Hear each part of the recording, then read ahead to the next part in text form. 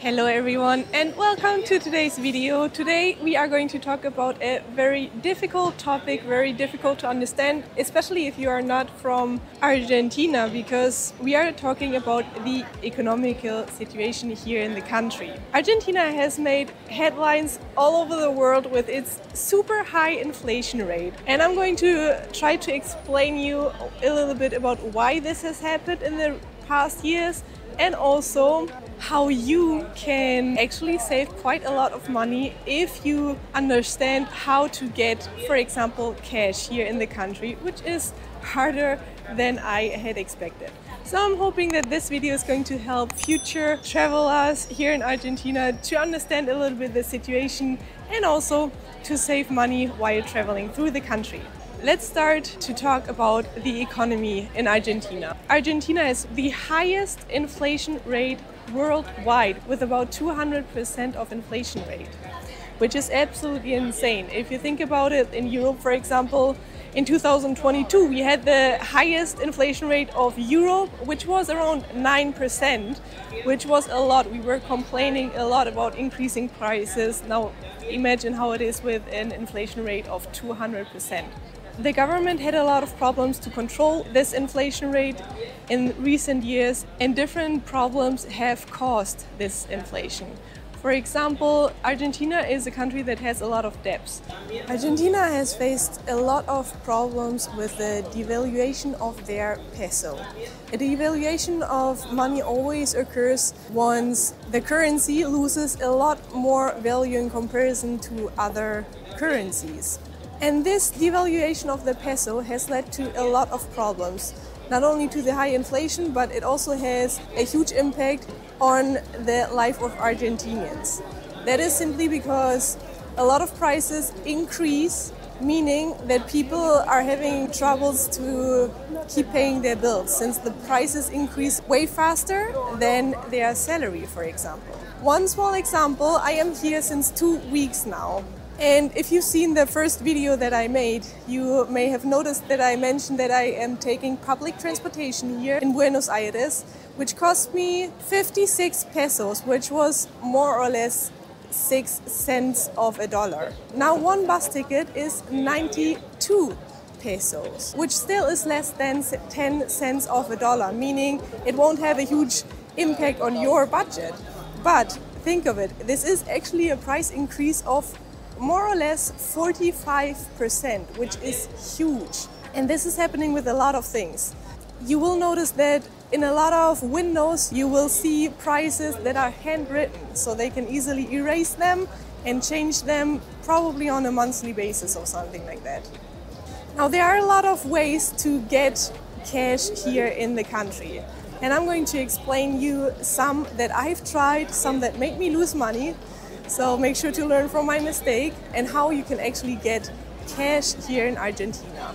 We are in the Avenida Florida, which is quite a famous street since here on the street you can not only buy a lot of things, there are lots of stores and so on, but also there are a lot of people here on the street screaming something like cambio, cambio, which means change. So here you can actually exchange your dollars into pesos. Let's walk a little bit down the street and I will explain you more about it. Now one thing that you should definitely know is this application here. It is called Dollar Blue Hoy. And in this application, you can also check the change rates for the dollar. Since these are changing basically on a daily basis, I would definitely recommend you to download this application here because you will always have the current exchange rate. Now, there are three dollars that are important for you. As you can see, there are six different dollar types currently, but three of them are actually important. So I'm going to quickly explain you what this means. There is the dollar official, which is the exchange rate that you can find, for example, on Google. This is the exchange rate that you would also get if you exchange your dollars in an official exchange place. The second one that is important for you would be the dollar MEP. The dollar MEP is made for people with international credit cards. So, meaning whenever you pay with your international credit card, you will get the exchange rate of the dollar MEP. I tried this with several cards that I have, and it worked with my debit and credit card from Germany, with a credit card from Spain, a credit card from the US, and I don't know why, but it didn't work with my Revolut, which is also an international card, but somehow I lost a little bit there. So I would recommend you to try your cards out and check a little bit the exchange rate on your bank statement so that you know that this actually works for your card. Then the third one that you should know about is the dollar blue. And the dollar blue is the exchange rate that you will get if you decide to exchange your dollars on the streets, for example, here on the Avenida Florida. Now, those exchange rates are different. The worst one that you can get would be the dollar official. So, I would recommend you to try to avoid that. And the best ones are the dollar MEP and the dollar blue. Both are quite similar by now. There used to be a huge difference, and the dollar blue used to be the better option. At some parts, the dollar blue is the better option, sometimes the dollar MEP, but really the difference is not that big. Let's dive into how to exchange money on the street. Now, I'm not sure if you can hear the voices in the background, but as I told you before, there are people on this street that constantly call cambio. So, with those persons, you can exchange your dollar bills into pesos. One very important thing here is that you actually have to bring a dollar bill of $100. Everything that is smaller won't get exchanged for the same rate. I'm not sure what is the reason behind that, but it is what it is. Make sure to bring $100 bills.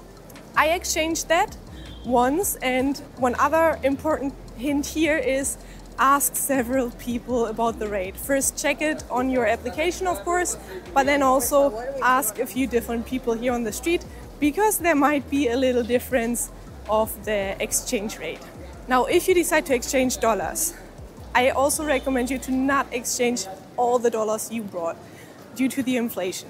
I have, for example, exchanged $100 for an exchange rate of 1,000 pesos when I came here.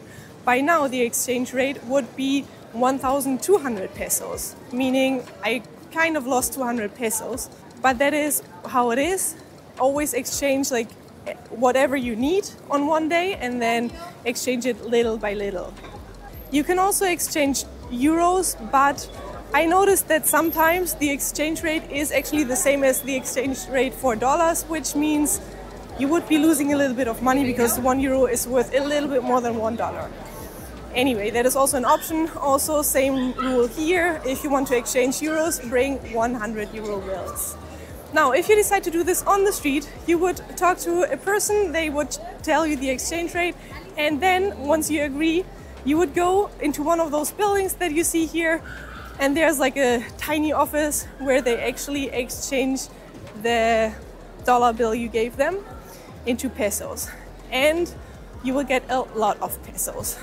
$100, for example, is currently around 1,200 pesos.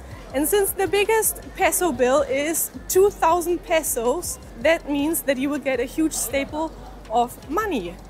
Now you might think, why do you even have to exchange money if you can pay everything with card for more or less the same exchange rate? Well, there's one reason, because you will save money. Actually, there are a lot of hotels, especially in the touristic regions, that will ask you to either pay in cash or with card. But whenever you pay with card, you will pay about 12 to 15% more. Actually, one time I wanted to rent a car and there was an increase in price increase of 30%, which is a huge difference.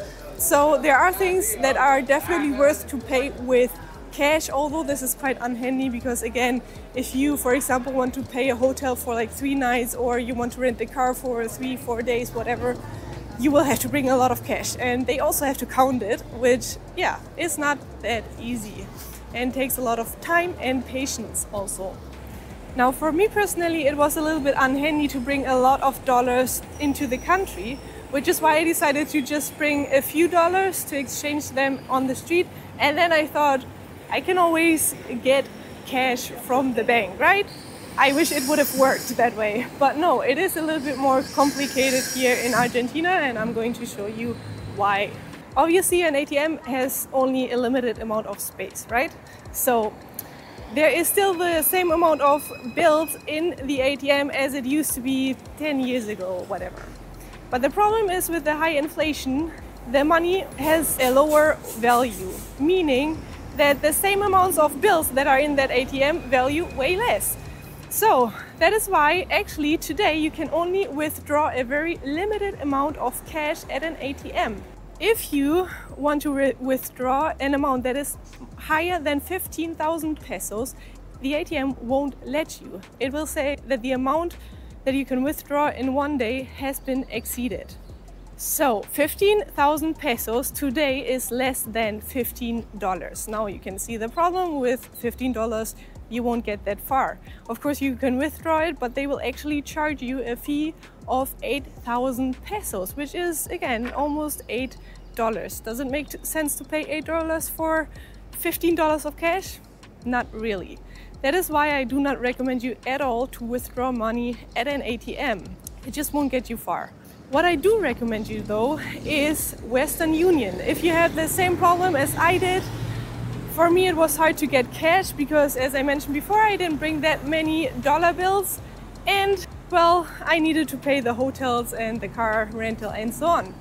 So I sent myself money via Western Union. That is possible and you will get the exchange rate of the dollar MEP, which is the dollar that you actually pay for an international transaction. Now with Western Union there's also a little problem because if you want to withdraw that money you should definitely do that during the week and as early during the day as possible because again they also have a limited amount of cash obviously and the more cash you want to get the harder it will be.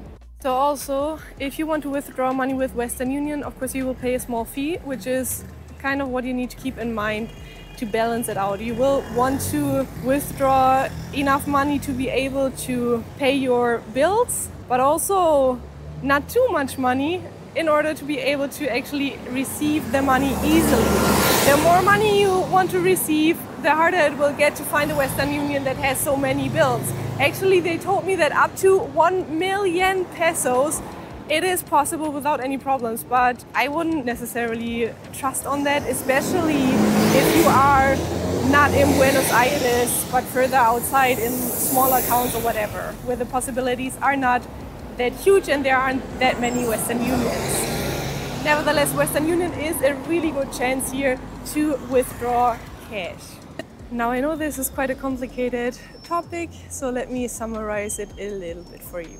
Again, my recommendation is to download the application Dollar Blue Hoy, which will always give you the current exchange rate.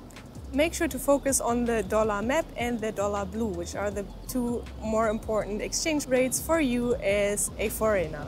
The best two options, in my opinion, are clearly to either exchange money on the streets if you have cash, make sure that it's a $100 bill or to simply pay with card. I did a mixture of cash and card, so whenever I was able to pay with a card, for example in restaurants or when I bought things, I paid everything with card, but everything else such as hotels or a car rental, I paid those things in cash.